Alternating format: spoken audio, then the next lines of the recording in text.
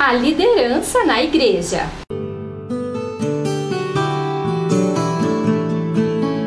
Agradecimento aos nossos parceiros. Loja Silva que me veste está com muitas novidades, peças de qualidade proporcionando o melhor para todas as ocasiões.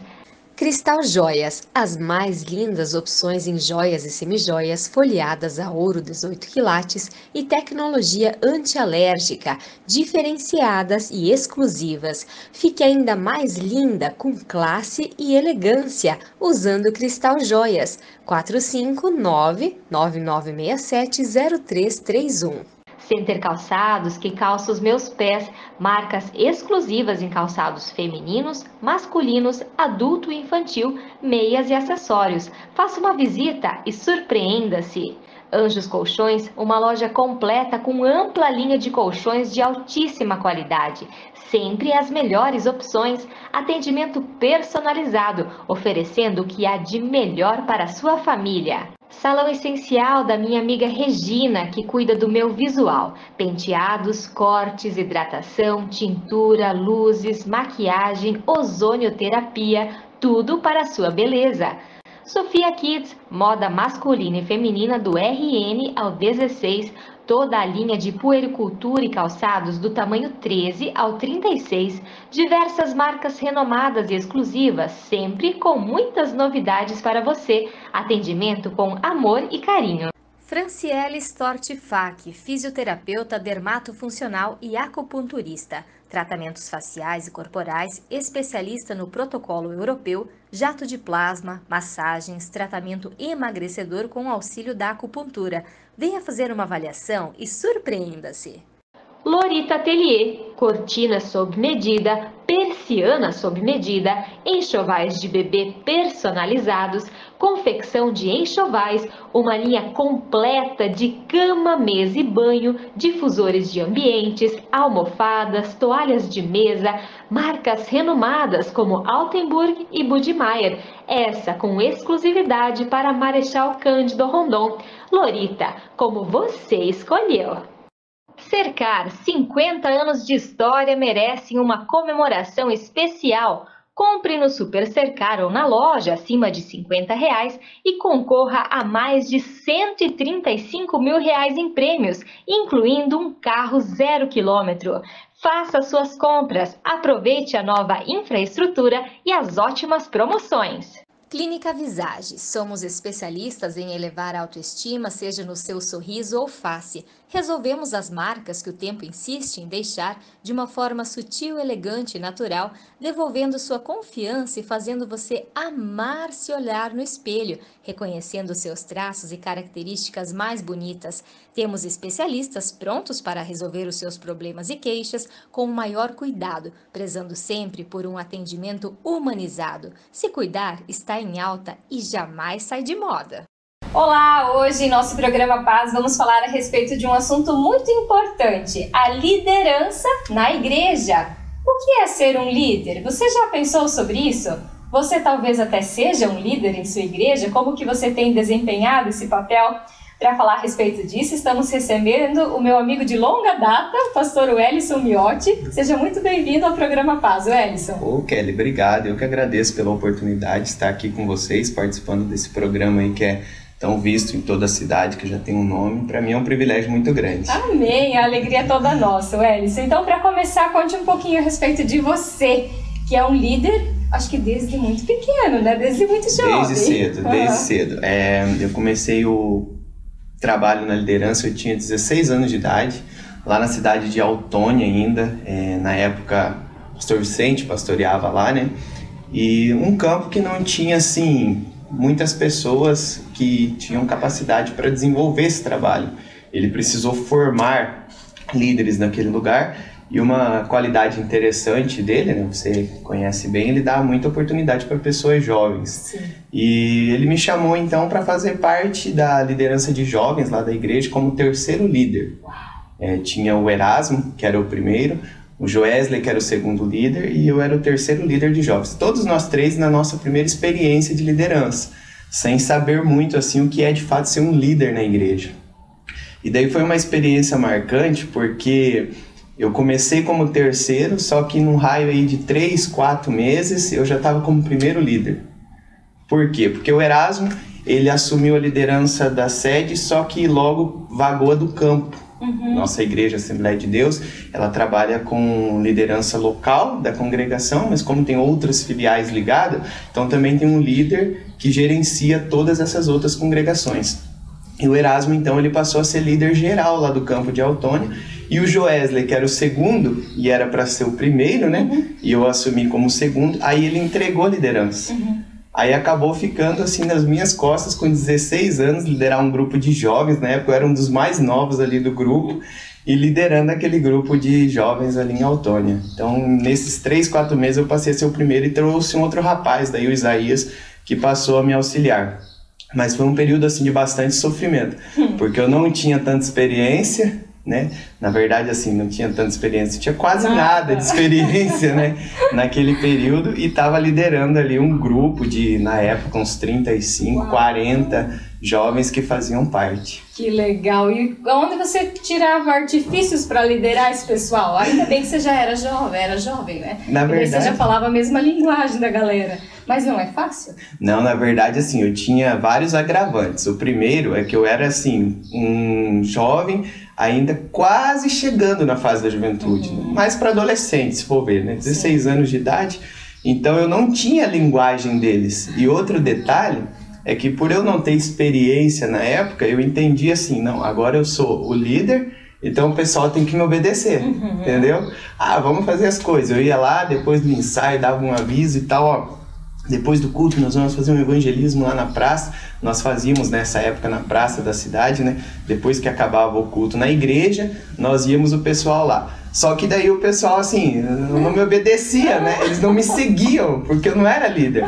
E eu ficava assim, nossa, mas pelo amor de Deus, o pessoal não me obedece, né? Porque eu entendi assim, eu sou o líder. Vão seguir. Vão seguir, tem que me obedecer, né? Entre aspas, tem que fazer o que eu tô mandando aqui.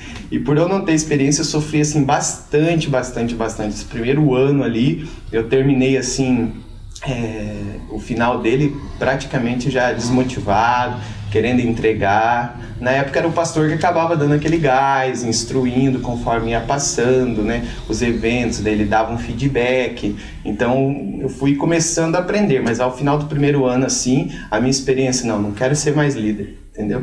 Porque eu via que o pessoal não me aceitava, entendeu?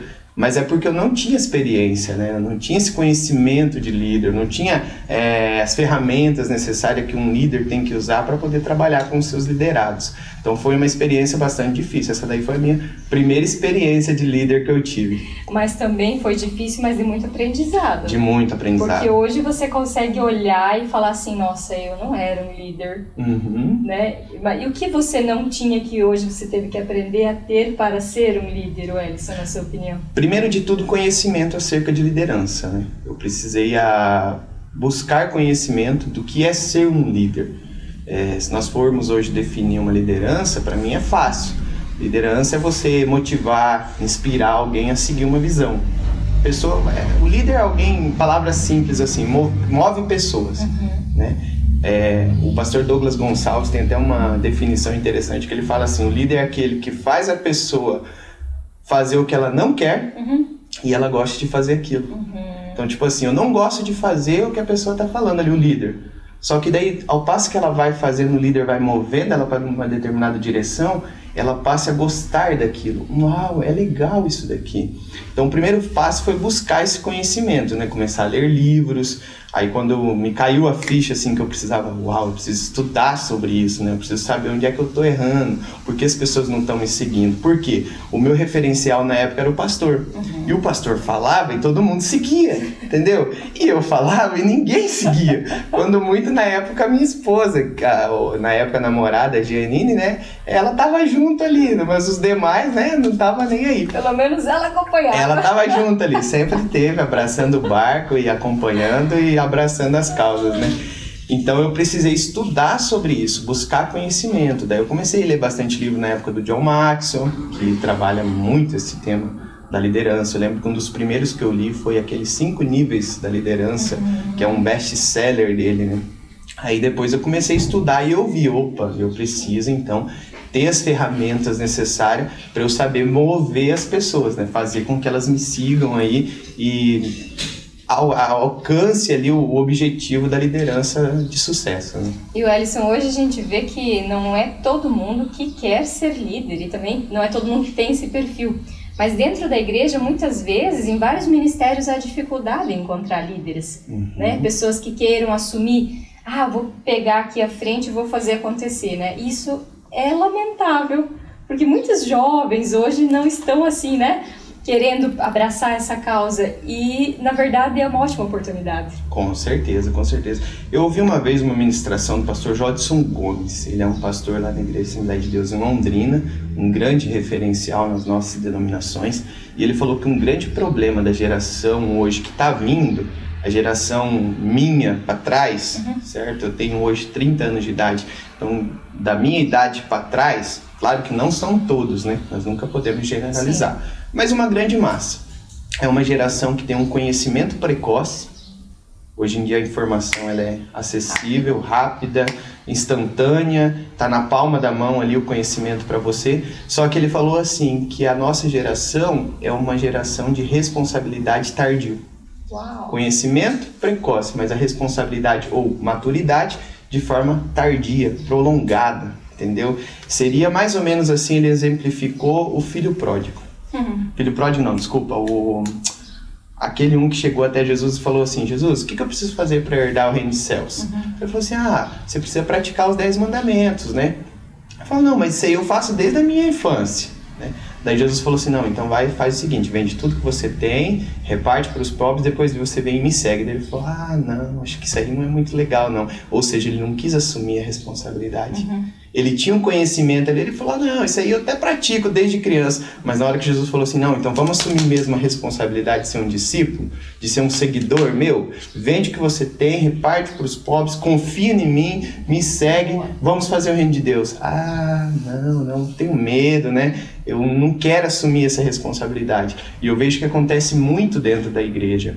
As pessoas elas acabam ficando elas acabam ficando com medo os jovens os adolescentes nós temos lá na nossa igreja. E eles têm essa esse medo essa dúvida será que vai dar certo? E não querem assumir a responsabilidade. Aí quando você consegue convencer alguém a, liderar um departamento ou liderar algumas igrejas que trabalham com pequenos grupos né creio que até de vocês uhum, trabalham com sim. isso aí ele vê nossa olha que bacana né depois eles veem que é interessante só que até convencer eles a assumir essa responsabilidade dá muito trabalho porque é o que eles não querem fazer. Na verdade, não é só nessa área, né? É em todas. Se você for falar em decisão hoje, hoje geração indecidida, né? Com certeza. Indecisa acerca do que fazer da vida. É... Essa semana mesmo estava conversando com um menino já que está saindo do colegial e tipo assim ele não sabe o que, que ele quer da vida. Uhum. Né? Ele não sabe se ele empreende, se ele estuda, é, se ele arruma um emprego, entendeu? Então, tipo assim, atendendo um menino que está indeciso. Então, a indecisão, é, até na, nas áreas seculares, estão atingindo a geração de hoje, né?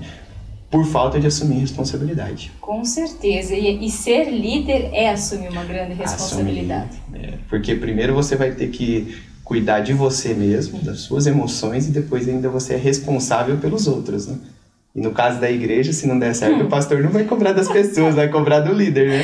Com certeza. E nessa sua caminhada, então, depois do, do líder de jovens ali, que foi meio conturbado, mas que graças a Deus serviu também como experiência. Como que foi a sua caminhada, Wellison? Logo depois daí desse meu primeiro ano, eu mudei para cá na época a trabalho, porque a Autônia estava passando por uma crise. E aqui eu fiquei um período de seis meses assim só participando da igreja, uhum. porque eu cheguei aqui, eu nem era conhecido e tal, mas eu ajudava, participava. Aí, ao final desses seis meses, o, o pastor fez uma proposta para eu voltar para o Antônio trabalhar com ele na igreja, para ser o co-pastor daí. Uhum. Ele estava com essa necessidade, o Geisiel, que trabalhava com ele, foi mandado para uma congregação que tinha essa necessidade, e ele ia precisar de alguém, e daí citaram o meu nome, né? Pô, o Edson faz tanta falta aí e tal, por que o senhor não convida ele? O pastor falou, ah, mas acho que ele não vai voltar, ele está indo bem lá em Marechal. Ah, mas vou fazer um convite. Fez um convite, como eu tinha muito esse desejo ministerial, eu retornei então.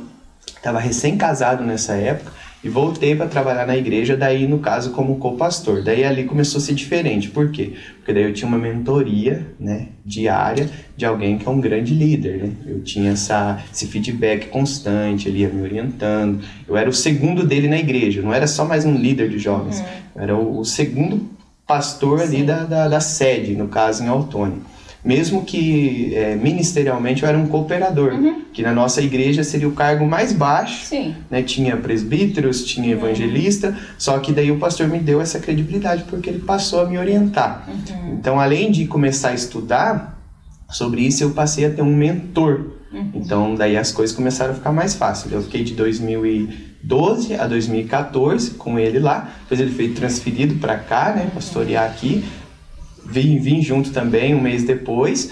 Aí a partir dali eu liderei os jovens aqui na, em Marechal. Depois eu passei a auxiliar na Juventude do Campo. Na época o César era o líder, mas eu ajudava ele em todos os eventos. No departamento de missões também, ele trabalhava, a gente trabalhava junto. E depois, ao final de cinco anos aqui, e eu passei a ser o vice-presidente do campo, né? Sempre com essa mentoria e sempre estudando também acerca de, de, liderança. A partir daí as coisas começaram a acontecer, porque antes eu falava as pessoas não me seguiam. Aí aqui não, já foi uma experiência como eu tinha essa mentoria, tinha conhecimento, aí eu tinha as ideias, eu apresentava e as pessoas, uau, vamos fazer, uhum. né? Aqui, por exemplo, nós tivemos uma experiência legal, eu auxiliando aqui na sede, os nossos jovens por três anos. Eu não era o líder, mas eu era o orientador sênior deles, né? Então eu auxiliava a liderança. Tive, tive, um trabalho de formar três líderes. Que legal. Eles tinham sido colocados e o primeiro ano deles foi igual ao meu de autônomo, sem eles ter experiência, né? Que era o Lucas, a Fernanda e o Paulo. E eu passei a ser orientador deles. Então, tipo, não só até então estava liderando, fazendo pessoas seguir, apresentando as ideias, apresentando ali uh, os caminhos, as metas a serem atingidas, como eu já estava também formando pessoas. Então, a partir daí começou a ter uma experiência um pouco mais diferente. E como a gente vê que Deus é maravilhoso, né? Ele te fez passar por uma situação no início. Semelhante a desses três jovens para que você pudesse até saber o que, que, eles estavam sentindo, porque isso não é fácil, né? Uhum. Você se sente frustrado e tal, né? E qual que é o conselho, Ellison, para os jovens que estão nos assistindo, participam de uma igreja e têm medo, não querem pegar uma liderança, não querem se envolver, ou até mesmo não só os jovens? Olha, eu acho assim, é, nós temos que entender que na igreja nós temos que estar prontos não somente para receber a salvação, certo? De Deus, que é o maior dom que nós podemos receber, né? Amém. né? A salvação e a vida eterna. Eu penso que nós precisamos também se envolver, Sim. servir o reino de Deus, né? Fazer algo por amor ao reino. Eu acho que quando nós fazemos isso, é, o livro Uma Vida com Propósito mostra isso para nós, né? É, você está servindo por um propósito maior, por um propósito eterno, por um propósito que vai ter recompensa não terrena, mas celestial. Então, se nós pensarmos que na igreja nós precisamos também se envolver, eu penso que é o primeiro passo para nós assumirmos a responsabilidade. Porque ao passo que você começa a se envolver ali, você começa a gostar daquilo. Você começa a ter um amor, um prazer de fazer algo para o reino de Deus, né? E você vai fazendo as coisas, você começa a ter resultado, e isso traz motivação. Então acho que o primeiro passo, ah, não quero assumir uma responsabilidade, beleza, tudo bem, mas começa a se envolver mais. Ah, vai ter um evangelismo, se coloca lá para você fazer. Ah, escreve meu nome. Ah, vai ter lá uma carreata, uma marcha na cidade. Ó, oh, vamos participar, tô junto, conte comigo. E depois, ao passo que você vai fazendo, o que que acontece? Se você tem aquela liderança nata, as pessoas vão começar a ver e falar: Nossa, olha, o fulano tá lá participando, eu vou participar também, né? Eu vou fazer junto, eu vou também. E você começa a ver que você começa a carregar pessoas. A partir disso, você tendo essa percepção, eu acho que daí você já está praticamente liderando, você só não é o, líder, às Oficial. vezes, efetivo, com o cargo da liderança. Mas eu acho que isso traz um prazer muito grande. Então eu penso que o primeiro passo, se envolva, se envolva bastante, se envolva naquilo que você puder, é, sirva o reino de Deus, faça o, o máximo de coisas possível. A partir disso daí, as coisas vão começar a acontecer naturalmente, sabe? Daí não vai ter aquela pressão o ruim é quando você não está fazendo nada e de repente querem te colocar. Daí você pensa, uau, não, peraí, tô quietinho aqui na minha. Agora, se você está envolvido, daí já é diferente, né? Até um, um rapaz, quando, quando eu voltei agora para Marechal, que eu tinha ido para Toledo, né? Fiquei um ano e meio em Toledo e voltei para Marechal no final do ano. Eu vi que ele começou a participar ali e daí ele estava responsável é, somente por ajudar a fazer o café ali da escola dominical. Uhum. E ele começou a gostar daquilo ali, falou, vamos, arruma mais pessoas. Aí arrumamos uma, uma equipe ali para ajudar ele e ele passou a ser o líder daquela equipe. Aí, é Leandro o nome dele. Aí, de repente, agora vagou o cargo de superintendente da IBD. Aí, quem que de imediato eu e o pastor pensamos, né? Pastor Claudemar, que hoje é o meu presidente.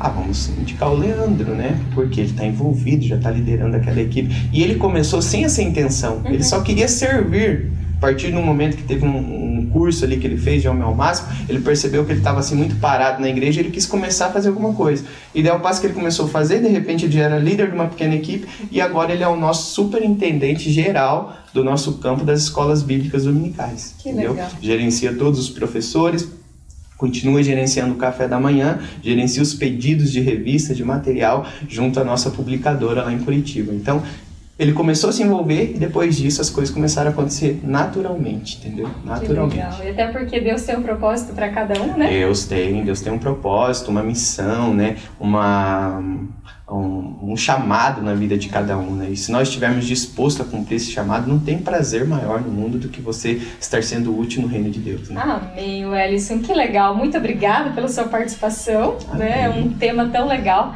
liderança na igreja, nunca falamos a respeito disso aqui. Olha que legal. E é extrema, de extrema importância, né? Que as pessoas se envolvam e, acima de tudo, como você falou, sintam-se felizes nessa obra, né? Feliz. Mas obrigada pela sua participação, estamos sempre de portas abertas. Obrigado, Kelly. Eu que agradeço. Deixo o um abraço aí, também deixo o convite, quem quiser conhecer a nossa igreja.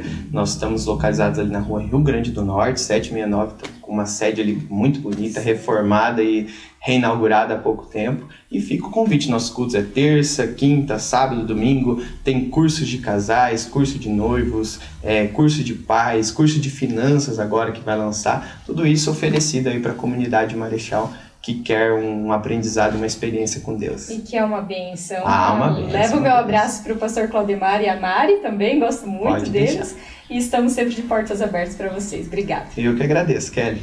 Obrigada também a você que nos assistiu. Que Deus abençoe e até o próximo programa.